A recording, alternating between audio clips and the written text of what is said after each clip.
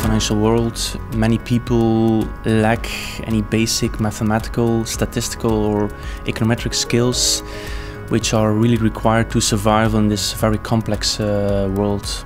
There are at least two factors that uh, drive change in uh, the financial world. Uh, first of all, and probably most importantly uh, over the last few years, is regulation.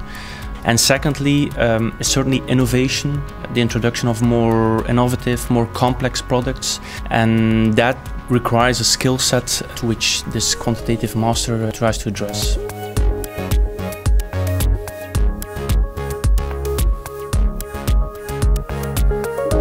What I particularly like about Solvay Brussels School is that they have found uh, a very good match between uh, practitioners from the financial industry on the one hand, and on the other hand, they also have expert academics. And I think uh, those two together can really make a good education where you have a solid theoretical basis and you can apply it to real world uh, financial problems.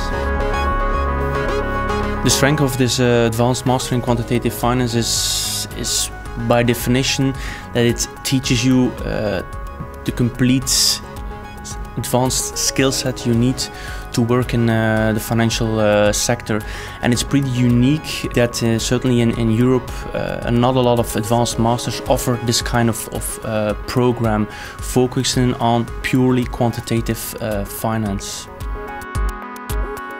Throughout the year, uh, Solvay Brussels School help you uh, to prepare for the job market.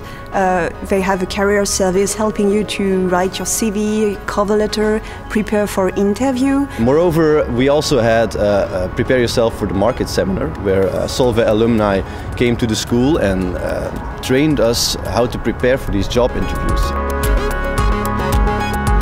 Being a student here is a great experience. For me, what I liked the most this year was the, the international environment. There are students from all over the world and even with very different backgrounds. But the nice thing is everyone has the, the same motivation.